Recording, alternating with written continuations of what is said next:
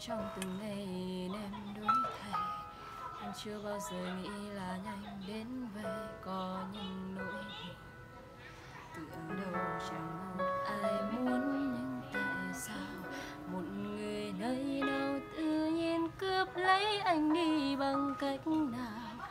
Duyên nợ mình trả hết cho nhau thật vậy sao? Giọt nước mắt em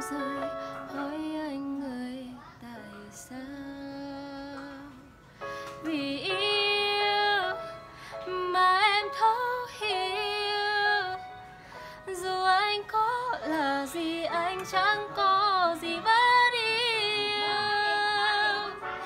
trả lời em của anh lúc đầu anh muốn bên em đến lúc em già là của anh.